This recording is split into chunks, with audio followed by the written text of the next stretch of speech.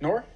All right, moving on here. The coronavirus pandemic has brought much of our lives online, including our health. Telehealth appointments have skyrocketed across the country, but is this trend here to stay? Joining us now is Susan Lucas Collins, Global Head of Healthcare Services at Twilio, and Dr. Peter Alperin, VP of Product at Doximity. Thank you both so much for joining me here today. Peter, I do want to start with you. Explain how Twilio has allowed you to uh, essentially expand Doximity's telehealth services.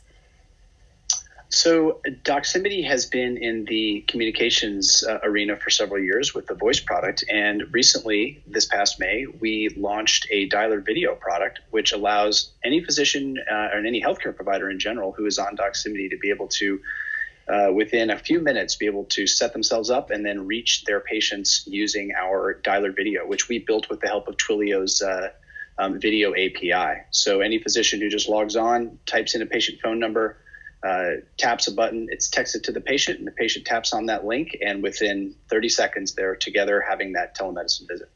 And Susan, I imagine the increase in demand you've seen during this pandemic is not the kind of thing you can really prepare for in a pre pandemic world. I understand that Twilio Video has seen more than a 100% increase um, of people using its video product. How do you kind of scale up and in real time kind of adjust to help to, to kind of try to handle that kind of demand? Absolutely. It's actually a 5x increase, believe it or not. And you handle that with cloud scale. That is one of the benefits of, of cloud technology. You have the agility and the ability to react in situations like this where you need to scale quickly to meet a particular market demand. And in healthcare's case, uh, you know, a real community need. And Peter, what is the kind of demographic of, of users of doctors that are more open to using this kind of video service? Are there any trends there?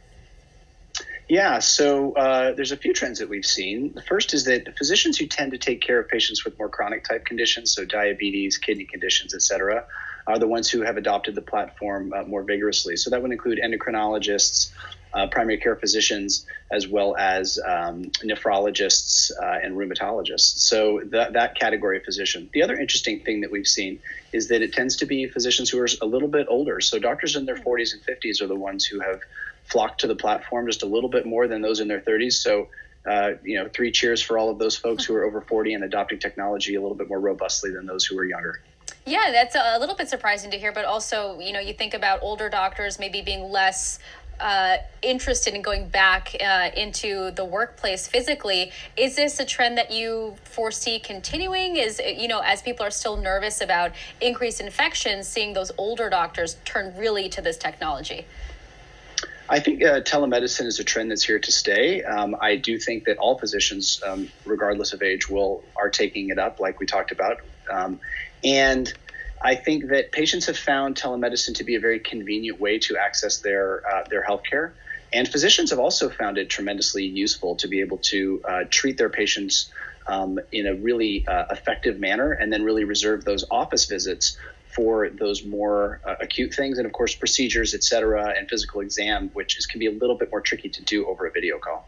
All right, thank you both so much for your time. Really interesting stuff. That's Susan Lucas Collins, Global Head of Healthcare Services at Twilio, and Dr. Peter Alperin, VP of Product at Doximity. Thanks again. Coming up.